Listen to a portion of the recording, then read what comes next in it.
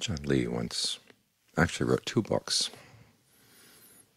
on the establishing of mindfulness,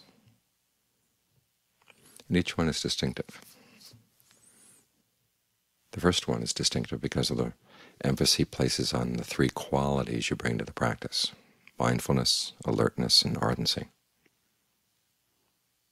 And that's the recurring theme throughout the book. Mindfulness, he defines as keeping something in mind. And as he points out, just the practice of simply keeping something in mind doesn't guarantee anything good at all. You can keep anything in mind. Or even if you keep the body or feelings in mind, you may not necessarily get anywhere with them. There are two other qualities that need to be brought together, the, the alertness and when you're actually watching what's happening, and you keep referring back to the mind. You look at the breath, say, but you're also keeping track of the mind. How is the mind staying with the breath? It's the alertness that actually keeps you there, keeps you together with your object. And then he says there's ardency. He defines ardency in different ways as he goes through the book. First, it's just the effort that you put into focusing something, but it's also the effort you put on into figuring it out, analyzing it. So we're not here just accepting what's happening. We're trying to figure out what's happening. Look for the causes. Of course, this fits in with the Four Noble Truths. We're looking for the cause of suffering.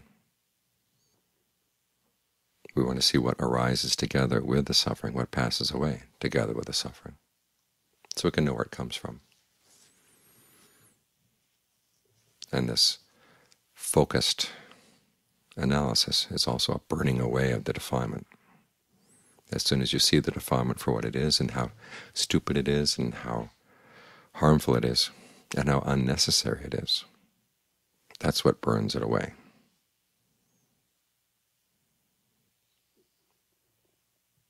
So as we're sitting here meditating, it's not just a matter of accepting whatever comes up or being intimate with whatever comes up or whatever the latest phrase is that people like to use. You stick with it so you can understand it, and it does require some active movement of the mind.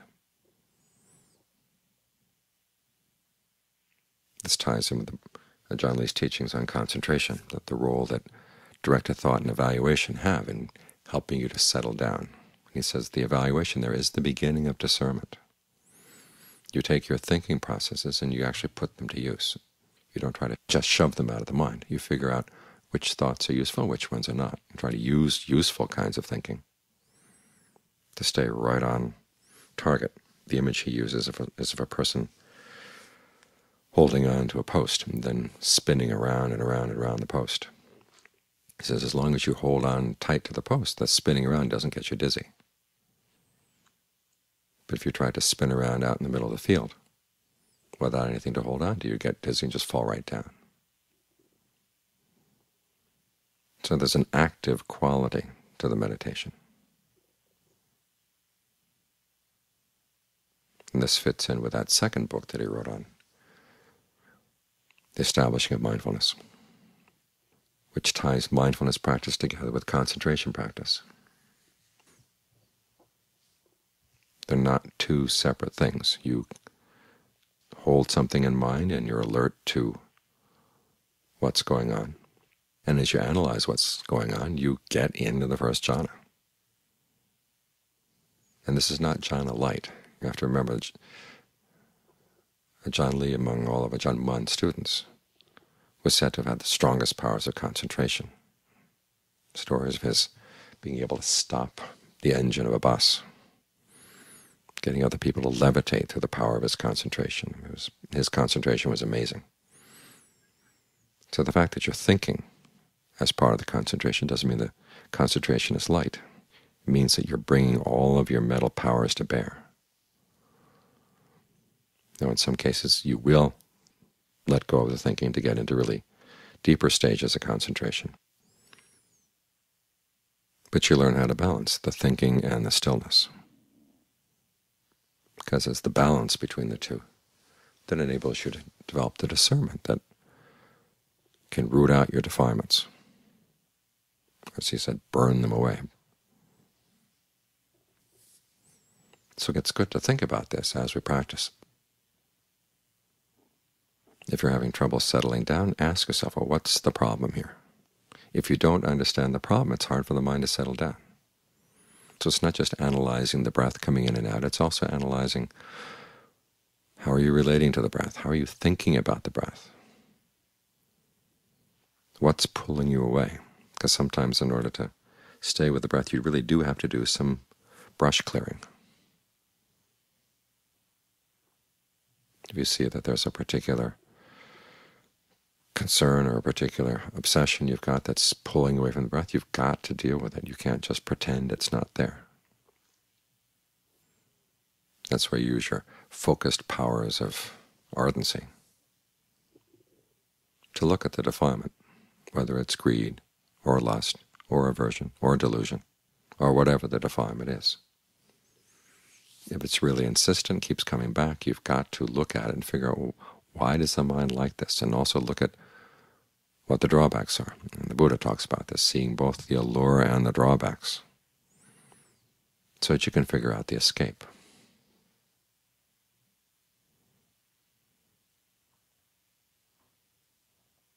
So as a meditator, you need lots of tools, and realize you're going to bring all of your mental powers to bear on the practice. Some of the tools are simply being mindful, and once you notice that you slipped off, you come right back. No big problem.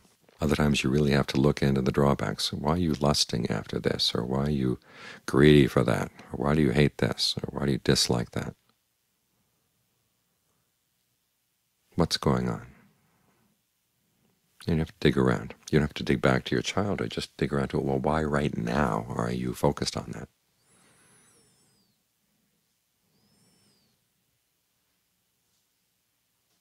Other times all you have to do is just look at the defilement. You relax around it, and it just goes away. As Ajaan Lee says, it gets embarrassed and it leaves you. Or you're realizing you're just holding on to some tension that you don't have to hold on to. You let it go. That's one tactic. Sometimes you read that that's the big tactic, is learning how to soften up around it or how to relax around it, whatever the problem is. That works with some problems, but not with everything. This, again, is part of having a skill and having a full panoply of tools. Because you have to remember, your defilements have a lot of tools as well. You have to learn how to be strategic. This is an aspect of the teaching that most people tend to forget. They think all you have to do is follow the Buddha's teachings and do what he tells you to do. You don't have to think too much about it, and some methods actually advise against thinking but you end up in a blind alley.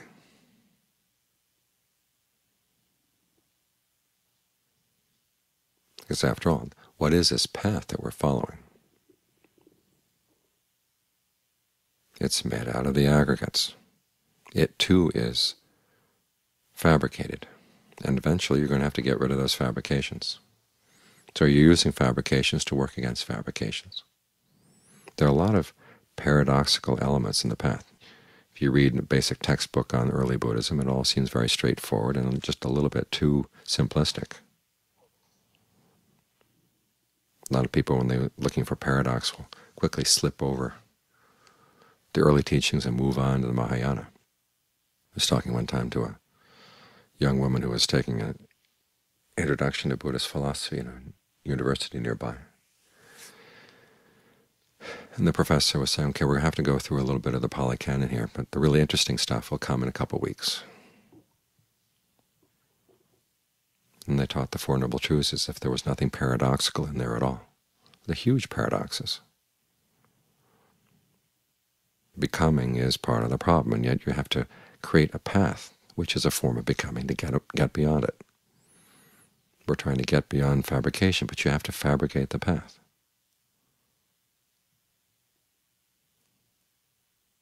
We're going to be using the insights of what's inconstant, stressful, and not self. And yet when you're developing concentration, you're trying to create a sense of something that is constant and easeful and that you've got under your control. This particularly is one of the paradoxes that uh, Ajaan Lee liked to focus on. As he said before, the Buddha let go of everything as stressful, inconstant, and not self. He first took what was stressful and turned it into something pleasant, like as the way we're working with the breath right now.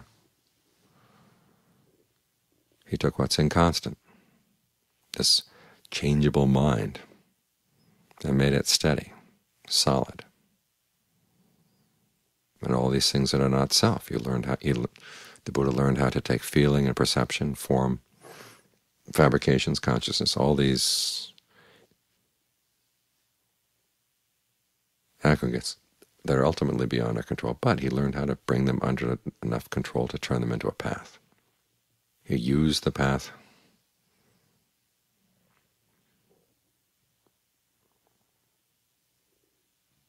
as a place to stand, so he could look at his other fabrications of the mind and see which things were really unskillful. When you provide yourself with a sense of ease, it's a lot easier to let go of the old habits you have of feeding on things that are that are harmful both for yourself and for other people. So you need to work on this path, strengthen it, keep it going, so you can use it against everything that's not the path. And then you turn the path on itself. Because ultimately you want to go beyond both constancy and inconstancy, stress and ease, self and not self. And this is another theme you see often in Ajaan Lee's teachings, is that ultimately even nirvana, even right view, gets put aside. Nirvana doesn't need right view or wrong view, it goes beyond the views. This is something a lot of people tend to forget. They think, well, the Buddha taught right view, and that's the view of the enlightened mind. Well, the enlightened mind is something way beyond right view. There's that story in the canon where Anathapindika, who was a stream enterer, was asked by some sectarians, what does the Buddha believe? What are his views? And here Anathapindika was already a stream enterer, but he said, I really don't know fully what the Buddha's views are.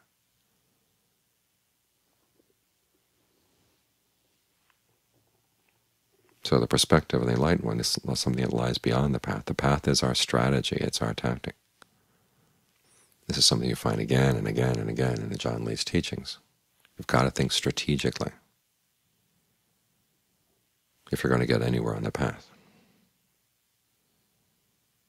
So this keeps throwing you back on yourself, your own powers of observation, your own ingenuity, your own honesty.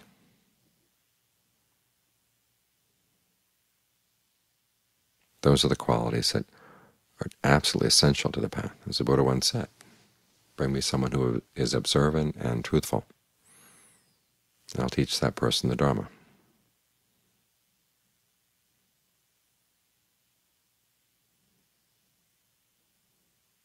It's not just being observant and truthful. There's also that element of ingenuity. You face a problem in your meditation. The Buddha's not going to be there to whisper in your ear to tell you what to do.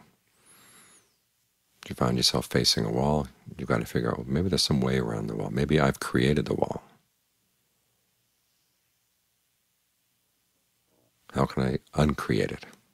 How can I stop doing the things that create the wall? Because remember, look at things as actions. That's one of the most useful ways of looking at the problems in the mind. There's an activity that's causing the problem. Usually it's a repeated activity. It's repeated so often it seems solid. It's like a noise. It gets repeated again and again and again so quickly that it seems like a steady noise. But if you actually made a recording of it, you'd see that the noise comes and goes, comes and goes.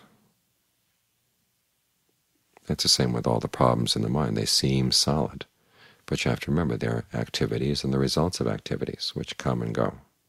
And you've got to figure out, where is the mind doing this activity? That is one of the meanings of Dhamma, an action.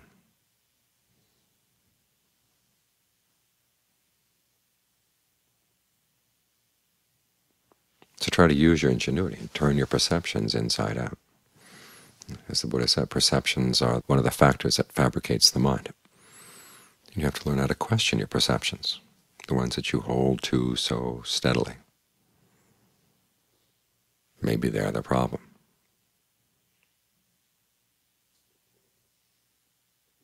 So this helps to pull you back from your perceptions. I mean, the way of mastering the aggregates, the way of letting go of the aggregates is that you have to master them first as activities. It's only when you've mastered something you really let it go. As Ajaan Lee said, it's at that point you can let go like a wealthy person. If you haven't reached that point, you try to let go of the aggregates, you let go like a, a poor person who has nothing at all. But if you've developed all the good that can come out of the aggregates, then when you let them go, they're, they're not going to abandon you. They're there.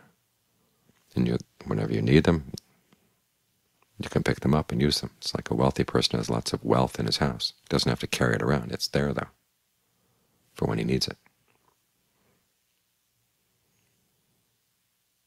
We've got a lot of good things in these aggregates. And it's learning how to figure out, well, what's good in here? It's not all just misery.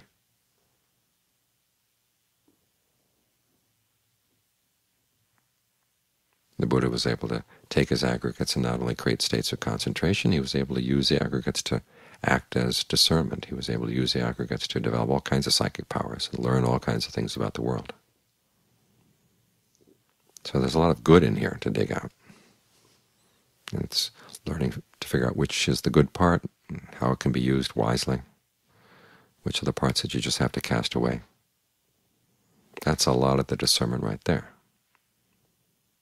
And it's a matter of discernment that the books can give us some guidance in, but we have to learn how to use our own powers of observation and our own ingenuity to make the most of what we got.